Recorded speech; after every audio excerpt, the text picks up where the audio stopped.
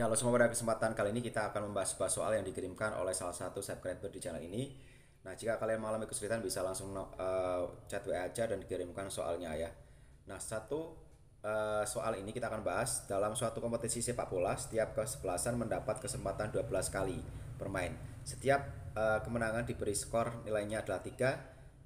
Kalau seri diberi nilai skor 1 dan jika mengalami kekalahan diberi skor negatif 1. Nah, kesebelasan sepak bola Sportivita mendapatkan kemenangan 7 kali dan dua kali seri.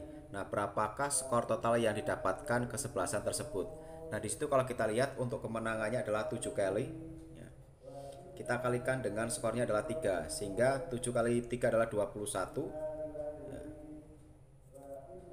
Kemudian untuk yang seri di situ adalah dua kali.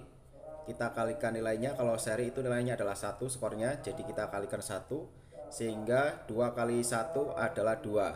Kemudian untuk kekalahannya kalau kita lihat di sini itu 12 kali bermain kemudian di situ dikurangi kemenangannya yaitu tujuh kali kemudian serinya adalah dua kali. Sehingga 12 dikurangi 7 dikurangi 2 adalah 3 nah kalau kekalahan ini skornya dikalikan dengan negatif 1 sehingga 3 ini kalikan negatif 1 adalah 3 ya negatif 3 ya, di sini.